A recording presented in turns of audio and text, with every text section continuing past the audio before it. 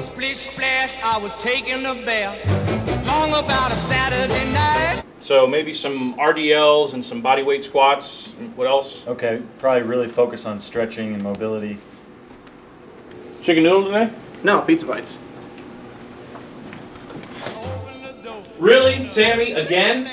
How many times do I gotta tell you you can't have the temperature that high? It's almost boiling. And how much Epsom salt is in there?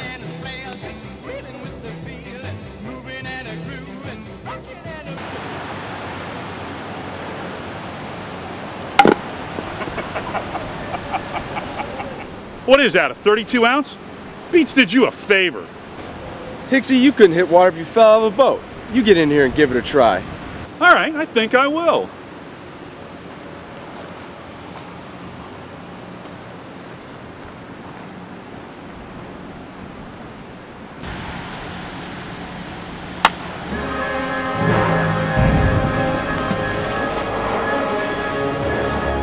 You want me to run that one out?